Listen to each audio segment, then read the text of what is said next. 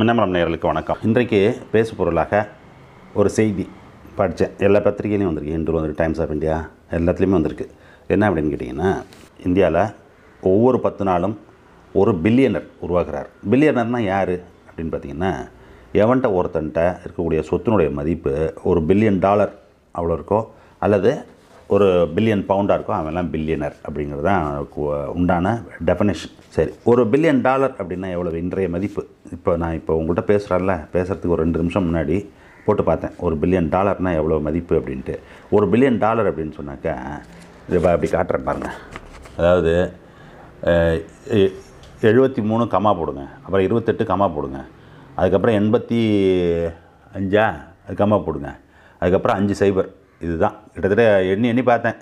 மூணு தடவை நாலு தடவை எண்ணி பார்த்தேன். நம்ம சொல்கிறதுக்கு வார்த்தையில் சொல்லணுன்னா எழுபத்தி மூணு இருபத்தெட்டு அதுக்கப்புறம் வந்து எண்பத்தி எண்பது அப்புறம் அஞ்சு சைபர். நூறு ஆயிரம் பத்தாயிரம் லட்சம் பத்து லட்சம் கோடி பத்து கோடி நூறு கோடி ஆயிரம் கோடி எழுபத்தி மூணாயிரம் கோடியே இருபத்தெட்டு லட்சத்தி அது ஏதோ வருது. அது அதான். ஆ? அப்போது இது படிக்கவே தெரியல நமக்கு. இந்த மாதிரி பத்து நாளைக்கு ஒருத்தன் வந்து இந்தியாவில் உருவாகிட்டு இருக்கானா இது இந்த பில்லியனர்ஸ் இது ஒரு பக்கம் நடந்துகிட்டு இருக்கு ரெண்டு மூணு நாளைக்கு முன்னாடி சொன்னேன் உங்கள்கிட்ட என்ன அப்படின்னு கேட்டிங்கன்னா இந்த கொரோனா வந்து முடிஞ்சதுக்கு பிறகு நார்மல் நார்மல்ஸ் ரெஸ்டோர் ஆனதுக்கு பிறகும் ஒரு பக்கம் வந்து இன்னும் அந்த அந்த லக்னோவில் சூரத்தில் பூனேலெல்லாம் வேலை செய்பவர்களுடைய வாழ்க்கை எப்படி இருக்குது அப்படின்ட்டு அவர்களுடைய வாழ்க்கையெல்லாம் இன்னும் எப்படி இருக்குது அப்படின்னு கேட்டிங்கன்னா அவர்களால் பழைய சம்பளத்தை இன்னும் வர முடியல.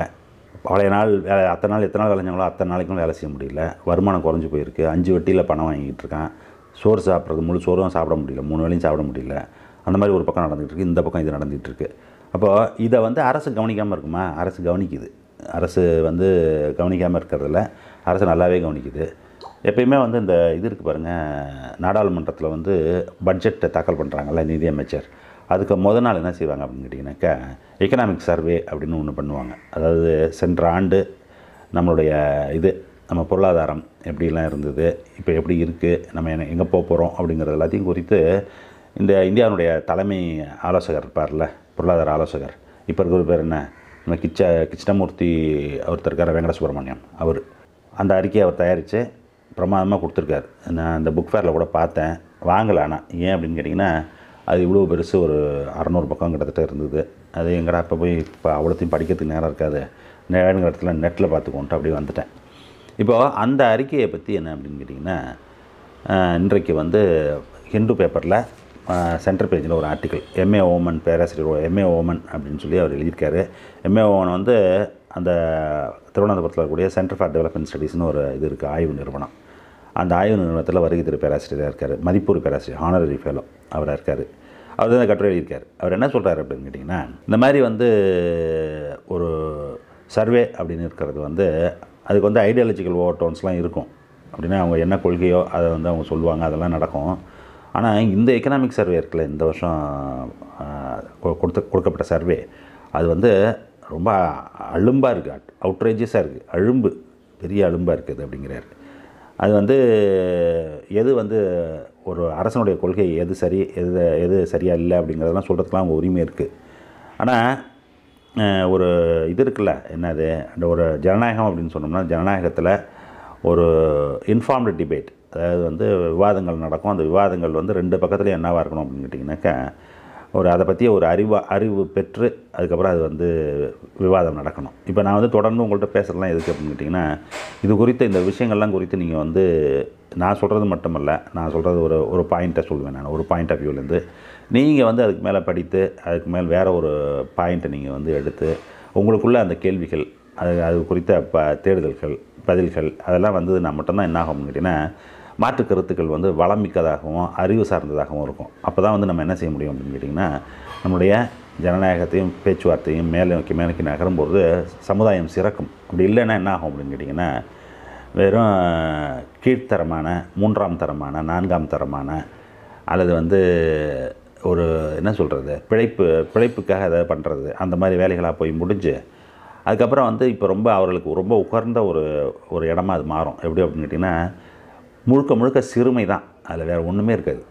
முழுக்க முழுக்க சிறுமையும் வெறுப்பும் அது மட்டும்தான் நிலைக்குமே தவிர வேறு எதுவும் நினைக்காது அதை நோக்கி நம்மளை நகர்த்துறதை நம்ம நம்மளே நம்மளை வந்து த என்ன செய்யணும்னு கேட்டிங்கனாக்கா தவிர்த்துக்கணும். ஆனால் நம்மளை இருக்கக்கூடிய சுற்றி இருக்க இருக்கக்கூடிய இயக்கம்லாம் எப்படி இருக்குது அப்படின்னு கேட்டிங்கன்னா இது எல்லாத்தையும் இப்போ ஜாதியின் பெயரால் மதத்தின் பெயரால் இனத்தின் பெயரால் மொழியின் பெயரால் இப்படிலாம் வந்து நம்மளை சிறுமைப்படுத்துவதற்கும் மற்றவனை சிறுமையாக நினைப்பதற்கும் மிக கேவலமாக நடத்துவதற்கும் அது மாதிரி தான் வந்து நம்ம நம்மளை சுற்றி இருக்கக்கூடிய சூழ்நிலைலாம் இருக்குது நமக்கு ஆட்படாமல் இருக்கணும் அப்படின்னு சொன்னோம்னாக்கா அந்த இவர் சொல்கிறார் பார்த்தீங்களா டெமோக்ரஸி வந்து டிமாண்ட்ஸ் இன்ஃபார்ம்டு டிபேட்னு அந்த மாதிரி இன்ஃபார்ம்டு டிபேட்டை நோக்கி நம்ம நகரணும். அதுக்கு வந்து அறிவு பெற வேண்டும். சரி இப்போ இந்த டாபிக் வருவோம். அப்போ இந்தியாவில் வந்து என்ன நடக்குது அப்படின்னு கேட்டிங்கனாக்கா ஒரு பக்கம் வந்து பணம் படைத்தவர்களுடைய பணம் வந்து மிகப்பெரிய அளவில் பெருசாகிக்கிட்டே இருக்குது அப்படிங்கிறத அதுவும் குறிப்பாக அந்த கொரோனா சமயத்தில் அது வந்து என்ன ஆயிருக்கு அப்படின்னு கேட்டிங்கனாக்கா எக்கச்சக்கமாக அதிகமாக இருக்குது அதனுடைய மதிப்பு பணக்காரர்கள் வச்சிருக்கக்கூடிய சொத்துக்களுடைய மதிப்பு. ஏழைகள் வந்து த நடுத்தல நிற்கிறது நடந்து போகிறது சோத்துக்கு இல்லாமல் அலையிறது அப்படிங்கிறது ஒரு பக்கம் நடந்துகிட்ருக்கு. அப்போது இந்த டிவைட் இருக்குல்ல இந்த வேறுபாடு அதாவது இந்த பக்கம் ஒரு பக்கம் ஒரு சின்ன ஒரு செக்ஷன் பெரிய அளவில் வளர்றதும் பெரிய ஒரு செக்ஷன் வந்து சும்மாவே தெரியறதும் அப்படிங்கிறது இருக்குல்ல. இதை வந்து இந்த எக்கனாமிக் சர்வே எப்படி பார்க்குது அப்படின்னு பார்த்தோம் அப்படின்னு சொன்னோம்னாக்கா அதிர்ச்சி அடைஞ்சிருவீங்க நீங்கள் அது என்ன சொல்லுது அப்படின்னா வளர்ச்சி வரணையா வளர்ச்சி வந்ததுன்னு வச்சுக்க இப்போ வந்து என்னத்தை பற்றி பேசக்கூடாது அப்படின்னு கேட்டிங்கன்னா இப்போ இனிக்வாலிட்டி பற்றி பேசக்கூடாது.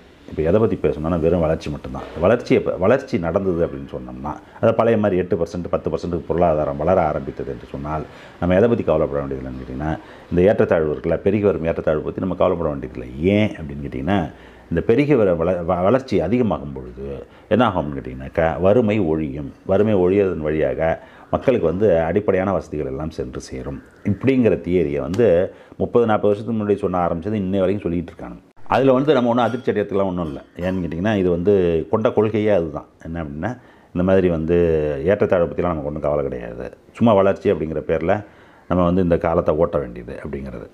அப்போது நம்ம வந்து இந்த லிட்ரேச்சரில் நிறைய அதாவது வந்து இதை பற்றிய இது இருக்குல்ல அப்போ எழுத்துக்கள் அதெல்லாம் எடுத்து படித்து பார்த்தீங்கன்னா உங்களுக்கு என்ன தெரியும் அப்படின்னு கேட்டிங்கன்னா இந்த மாதிரி வந்து வளர்ச்சி அப்படின்னு அவங்க சொல்லி கொண்டு இருந்தாலும் வளர்ச்சி எல்லோரையும் சென்று அடைவது இல்லை அப்படிங்கிறது வந்து நல்லா எல்லாருக்கும் தெரியும். அது மட்டுமல்ல அது வந்து பல முறை பல பெரிய ஆட்ட- ஆராய்ச்சியாளர்களால் நிறுவப்பட்டிருக்கு. என்ன நிறுவப்பட்டிருக்குன்னா வளர்ச்சி அப்படிங்கிறது வந்து இந்த மாதிரி இந்த கடந்த முப்பது நாற்பது வருஷத்தில் இந்த வளர்ச்சி நடந்த உலகத்தில் நடந்த வளர்ச்சி எந்த நாடு எடுத்துக்கிட்டிங்கனாலும் என்ன நடந்திருக்குன்னா வளர்ச்சியினால் பயனுற்றவர்கள் மேல்தட்டு மக்கள் அது வந்து மிகப்பெரிய அளவில் அவங்களுக்கு செல்வம் போய் சேர்ந்துருக்குது. கீழ்த்தட்டு மக்களுக்கு ஓரளவு வந்து வந்திருக்கே தவிர பெரிய அளவில் வந்து சேரல அப்படிங்கிறது தான் வந்து இருக்கக்கூடிய பெரிய பிரச்சனை. இது அதை வந்து எத்தனை தடவை காமிச்சாச்சு. ஆனாலும் இந்த எக்கனாமிக் சர்வே எடுத்து பார்த்தீங்க அப்படின்னு சொன்னீங்கன்னாக்கா திட்டவட்டமாக தெளிவாக என்ன சொல்கிறான் அப்படின்னு கேட்டிங்கனாக்கா அந்த சர்வேல இந்த மாதிரி நம்ம வந்து இதை பற்றி பேசக்கூடாது இப்போ பேச வேண்டியது அது மட்டும்தான் அப்படின்னு. அது மட்டுமல்ல இந்த தியரி இருக்குது பார்த்திங்கன்னா என்ன தியரி அப்படின்னு கேட்டிங்கன்னா வளர்ச்சி வந்தால் உங்கள் வாழ்வு எல்லாருடைய வாழ்வும் சிறக்க சிறந்து விடும் அப்படின்னு சொல்லிட்டு என்ன பண்ணியிருக்காங்க கேட்டிங்கன்னா பக்கம் பக்கம் பக்கம் பக்கமாக வந்து படம் போட்டு காமிச்சிருக்காங்க. என்ன படம்னா கார்லேஷன் போட்டு. கார்லேஷன் அப்படிங்கிறது எப்படின்னாக்கா எல்லாம் தப்பு தப்பாக கார்லேஷன் கார்லேஷனாக என்ன பொருள்னு உங்களுக்கு தெரியுதா என்னன்னு தெரில இந்த இவர் என்ன சொல்கிறார் ஓமன் என்ன சொல்கிறாருன்னு கேட்டிங்கன்னா ஒரு கன்க்ளூஷன் என்ன சொல்கிறாருன்னா all the conclusions of the chapter by computing correlation are faulty எல்லாமே தவறான முடிவுகள். ஏன் அப்படின்னு கேட்டிங்கன்னா correlation can only measure joint scatter and it cannot measure any type of relationship between X and Y எக்ஸும் ஒய்யும் ஒரு வேரியபிள் இருக்குன்னு வச்சுங்க ரெண்டு ரெண்டு காரணிகள் இருக்குது ரைட்டா எக்ஸும் ஒய்யும் எப்படி ஒன்றோட ஒன்று தொடர்புடையதுங்கிறது நீங்கள் தான் முடிவு பண்ணணும். அது மாதிரி இல்லாமல் சும்மாச்சிக்கு நீங்கள் வந்து என்ன பண்ணுறது அப்படின்னு கேட்டிங்கனாக்கா பக்கத்து வீட்டுக்காரன் உயரத்துக்கும் உங்கள் உயரத்துக்கும் ரிலேஷன்ஷிப் இருக்கான்னு போட்டு பார்த்தீங்கன்னாக்கா அது எப்படி அது ரெலவெண்ட்டாக இருக்குமா? ஏன் அப்படின்னு கேட்டிங்கன்னா முதல்ல வந்து ஒரு அப்பாவுக்கு அம்மாவுக்கு என்ன உயரம் உங்கள் என்ன உயரம் அப்படின்னு போட்டு பார்த்தீங்கன்னா அதில் ஒரு பொருள் இருக்குது ஏன்னா நீங்கள் அவங்க அவங்க பிள்ளை. பக்கத்து வீட்டுக்காரனுங்க அடுத்த வீட்டுக்காரனுக்கு எடுத்த வீட்டுக்காரனுக்கு உங்களுக்கு இருக்கிற உயரத்தையும் ரிலேட் பண்ணி பார்க்க முடியுமா நம்மளால்? அது மாதிரி எப்படின்னு கேட்டிங்கன்னா எப்பயுமே ரிலேட் பண்ணி பார்க்கும்போது அதுக்கு உண்டான அப்ரியரின்னு சொல்கிறது அதுக்கு வந்து முன்னாடி அதுக்கு காரணம் இருக்கா அப்படிங்கிறத நீங்கள் தான் சிந்திச்சு முடிவு பண்ணணும். அந்த மாதிரி இல்லாமல் சும்மா எதையோ ரெண்டு எடுத்து போட்டு இது அதுவும் கார்லேஷன் ரெண்டும் ஒன்று அப்படின்னு சொல்கிறது வந்து எந்த விதத்துலையும் பொருத்தம் இல்லை. அது மொதல் பாயிண்ட் ரெண்டாவது பாயிண்ட் என்ன அப்படின்னு கேட்டிங்கன்னா இந்த கார்லேஷன் ஒர்க் அவுட் பண்ணும்போது அதெல்லாம் டெக்னிக்கல் டீட்டெயில்ஸ் அது தெரிஞ்சவங்க இப்போ தெரிஞ்ச தெரிஞ்சுக்கலாம் தெரியாதவங்க அதை பற்றி ரொம்ப கவலைப்பட வேண்டியதில்லை. என்ன அப்படின்னு கேட்டிங்கன்னா ஒரு ரெண்டும் சேர்ந்து மாறும்போது எப்படி மாறுதுங்கிறது மட்டும் தான் அதை காட்டுமே தவிர அதுக்கு அதுக்கு தொடர்புக்குங்கிறது காட்டாது. இப்போ இப்படியாக இது மாதிரி எத்தனை டேபிள் போட்டிருக்காங்க அப்படின்னு கேட்டிங்கனாக்கா நாற்பத்தி நாலு படம் போட்டு காமிச்சிருக்காங்க. எப்படின்னா வளர்ச்சி வரும்பொழுது தானாகவே வந்து என்ன குறைஞ்சிரும்? அந்த அந்த இது இருக்குது பாருங்கள் அந்த ப ஏற்றத்தாழ்வுகள். ஏற்றத்தாழ்வு குறைஞ்சிருங்கிறத வந்து இந்த மாதிரி நாற்பத்தி நாலு ப இது தப்பு தப்பாக இது மாதிரி கார்லேஷனை போட்டு காமிச்சிருக்கிறாங்க. அதுக்கப்புறம் இந்த என்னன்னு கேட்டிங்கன்னா லீனியர் மாடல்ஸ்ன்னு போட்டு இது வந்து இது எல்லாத்தையும் வந்து வேரியபிள்ஸ் எல்லாம் வந்து இஷ்டத்துக்கு செலக்ட் பண்ணி அவங்கவுங்க வசதிக்கு தகுந்த மாதிரி. இதுவும் அதுவும் தொடர்புப்படுத்தி அதையும் அதையும் தொடர்புபடுத்தி பார்க்குறது. நான் அது மாதிரி ரெண்டு டேபிள் பார்த்துட்டு என்ன பண்ணேன்? நான் அதனால தான் வாங்காமல் வந்தேன். எங்கே இந்த புக் ஃபேரில் அப்படி திருப்பினேன். திருப்பினோன்னு பார்த்துட்டு அந்த கிராஃபை பார்த்துட்டு ஏடா இதுக்கு அதுக்கு என்ன சம்மந்தம் இருக்குது ஒரு சம்மந்தம் இல்லாமல் இந்த மாதிரி போட்டு வச்சுருக்காங்கல்ல? அப்படின்னு தான் தூக்கி போட்டு வந்துட்டேன். வேணா பார்த்துக்குவோம் அப்புறம்ட்டு இப்போ இவர் கரெக்டாக சொல்கிறார் அது. என்னென்னா இந்த மாதிரி வந்து ஸ்டாட்டிஸ்டிக்கல் டூல்ஸ் இருக்குல்ல அந்த புள்ளி விவரத்துக்கு உண்டான க கருவிகள் அது எல்லாத்தையும் மிஸ்யூஸ் பண்ணுறது எந்த அளவுக்கு மிஸ்யூஸ் பண்ணுறது அப்படின்னு கேட்டிங்கன்னா அவர்கள் அவர்கள் தரப்பு நியாயத்தை நியாயப்படுத்துவதற்காக இந்த மாதிரி அழும்பாக அட் அட்டகா அழிச்சாட்டியமாக அதெல்லாம் பயன்படுத்தியிருக்காங்க அப்படிங்கிறது தான் இதில் வந்து நம்ம சொல்லியிருக்கிறது. அதுக்கு பிறகு வந்து என்ன அப்படின்னு கேட்டிங்கன்னா நம்ம ஊர் வந்து நமக்கு நல்லா தெரியும். நம்ம நாடு வந்து எப்படின்னா எப்போ எவ்வளோ ஏற்றத்தாழ்மிக்க நாடு. சமுதாய ரீதியாகவும் பொருளாதார ரீதியாகவும். சமுதாய சமுதாய ரீதியாக என்ன பண்ணியிருந்தாங்கன்னா ஜாதி வாரியாக மேலே கீழெல்லாம் ப பிரித்து அவனுக்கு அந்த ஜாதி வாரியான பிரிப்பில் என்ன நடந்தது அப்படின்னு கேட்டிங்கன்னா அவனுக்கு உண்டான ஆக்சஸ் இருக்குல்ல என்ன பொருள்களுக்கு. அந்த பொருள்களுக்கு உண்டான ஆக்சஸ் எல்லாத்தையும் தடுத்து நிறுத்துறது. எப்படி? அப்படின்னு கேட்டிங்கன்னா நிலம் எல்லாருக்கும் ப சமமாக பகிர்ந்ததா? இல்லை. எப்படின்னா யார்கிட்ட நல்லா இருக்கணும் யார்கிட்ட இருக்கக்கூடாதுங்கிறது இருந்தது. யார் என்ன வேலை செய்யணுங்கிறது இருந்தது. அப்படியேப்பட்ட ஒரு சமுதாயத்தில் பொருளாதார வளர்ச்சி அப்படின்னு ஏற்படும் பொழுது யார் எதுலேருந்து என்ன பயனுறுவார்கள் அப்படிங்கிற கேள்வி இருக்குல்ல? அந்த கேள்வியை கவனமாக கையாள வேண்டியதும் அதற்குண்டான பதில்கள் அதனுடைய அதுலேருந்து என்ன விளையும் அப்படிங்கிறதையும் கையாள வேண்டியது அரசு. அரசு வந்து என்ன செய்யுது அப்படின்னு கேட்டிங்கன்னா அரசு எனக்கு அதற்கு எந்த சம்மந்தமும் இல்லை. அது வந்து அப்படின்னு சொல்கிறதை தவிர அது சம்மந்தம் இல்லாமல் இருப்பதில்லை. அது என்ன செய்யுது அரசு வந்து இந்த ஏற்றத்தாழ்வுகளை நீக்குவதற்கு முன்னாடியெல்லாம் இந்த ஐம்பது அறுபது வருஷத்தில் என்ன பா பாடுபட்டோமோ அந்த பாடுகளை எல்லாத்தையும் தூக்கி ஓரங்கட்டி வச்சுட்டு எங்களுடைய கொள்கை என்னன்னு கேட்டிங்கன்னா வளர்ச்சி வளர்ச்சி வளர்ச்சி. ஆனால் சொல்லும்போது அனைவருக்குமான வளர்ச்சி. அனைவருக்குமான வளர்ச்சி வர்றதில்லை. வளர்ச்சி யாருக்கு வருதுன்னா யார் நிறையா பணம் வச்சுருக்காங்க யார்கிட்ட வந்து செல்வம் ஏற்கனவே இருக்கோ அவங்களுக்கு தான் இன்னும் அதிகமாக போகுது அப்படிங்கிறது எல்லா புள்ளிவரமும் காட்டிடுச்சு. காட்டின பிறகும் அதையே திரும்ப வந்து இதில் என்ன சொல்லியிருக்காங்க கேட்டிங்கன்னா இந்த எக்கனாமிக் சர்வேல திரும்ப திரும்ப அதே தான் சொல்லப்படுகிறது. அதனால் இவர் என்ன சொல்கிறாரு அப்படின்னு கேட்டிங்கனாக்கா இந்த மாதிரி வந்து இனீக்வாலிட்டியை பற்றி பேசாமல் இருப்பது அப்படிங்கிறது வந்து எதற்கு? அப்படின்னா இனீக்வாலிட்டி அப்படிங்கிறது பேசுறதுனா அரசு வந்து யாருக்காக செயல்படுகிறது? அரசு வந்து அந்த மேல்தட்டில் இருக்கிறவங்களுக்கு மட்டும்தான் செயல்படுகிறது. மற்றவனுக்கு மற்றவனுக்கு ஒன்றும் இல்லை. அது மட்டுமல்ல இவனை வரியின் வழியாகவும் என்ன வரினை எப்படி நீங்கள் யோசிச்சு பாருங்கள் கேஸ் விலை நேற்று இருபத்தஞ்சி ரூபா ஏற்றிருக்காங்க என்ன பெட்ரோல் விலை தொடர்ந்து ஏற்றிக்கிட்டே இருக்காங்க. இப்போ இதெல்லாம் என்ன அப்படின்னு கேட்டிங்கன்னா நம்ம கொடுக்குற வரிகள் தான். நீ கொடுக்குறேன் நான் கொடுக்குறேன் எல்லாம் கொடுக்குறது தான் கேட்டால் அது வந்து வளர்ச்சிக்கு பயன்படுத்துகிறோம் வளர்ச்சிக்கு பயன்படுத்துகிறோம் வளர்ச்சி யாருடைய வளர்ச்சிக்கு பயன்படுத்துறீங்க? என்ன நீ வளர்றியா நான் வளர்றேன்னா யார் வளர்றா நீ பாரு அப்படின்னு சொன்னால் பத்து நாளைக்கு ஒரு பில்லியனர் உருவாகிட்டு இருக்கான் அவன் தான் வளர்ந்துட்டு இருக்கான். நம்மளாம் என்ன ஆகிட்டு இருக்கோம் அப்படின்னா இதெல்லாம் செத்து சுண்ணாம்பாயிட்டு இருக்கோங்கிறது தான் உண்மை.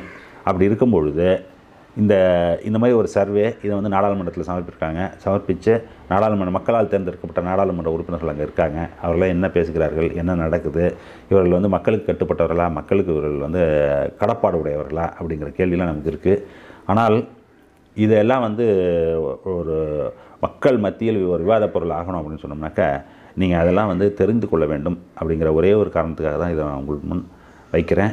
நீங்கள் வந்து இது குறித்து சிந்தித்து இது குறித்து பேசுங்கள். இதை தொடர்ந்து படியுங்கள் என்று கேட்டு விடைபெறுகிறேன். நன்றி வணக்கம்.